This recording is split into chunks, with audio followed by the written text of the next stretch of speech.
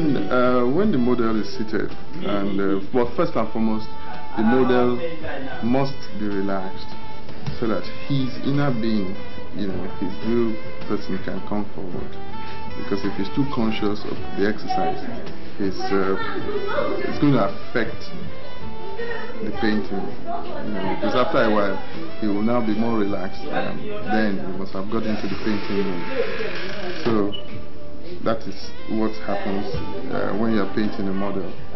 But uh, what I paint and draw at the same time, I use the colors to model, just as a sculptor will use clay to model. That's what I do when I'm painting. And uh, as I paint along, I adjust the the forms, you know, the colors.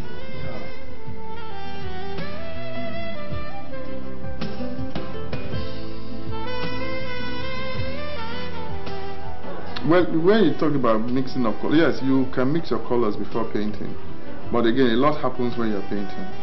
There are some colors that come out of intuition. There are some colors that, uh, as you're painting, you begin, to, you know, begin to uh, come up with different colors to interpret what you're seeing, the play of light and shade. You know, so mixing of colors is like uh, putting down some notes on what you want to do, you know, like writing. And after a while, you form the composition and as you write you begin to structure your sentences properly. So that's what happens. It's not that uh, all the colors here are what you must see on canvas. They're just uh, taking notes you know putting things down. And that's basically what I do when I'm thinking from my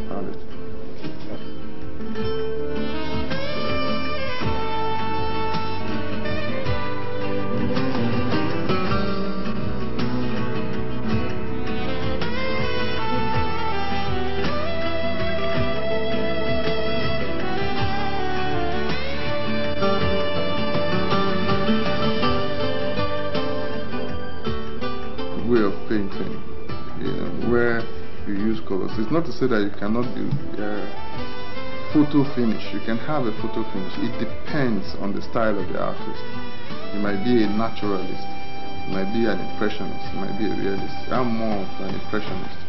And so I lay my colors. I do not really lay emphasis on uh, trying to make it look like a photograph. But most importantly, there's what we call physiognomy in painting and that is where you capture the essence you know, of the model.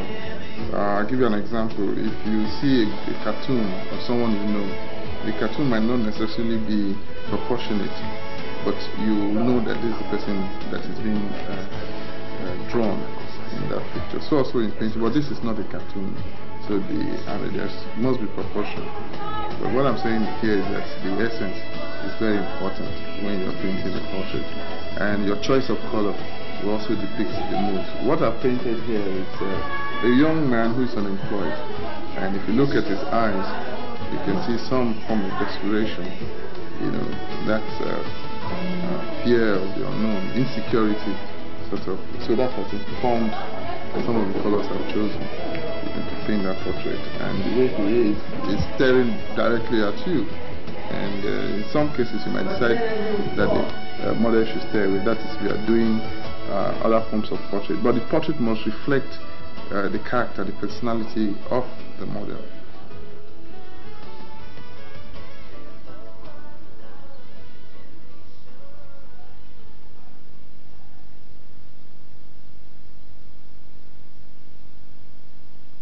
Africa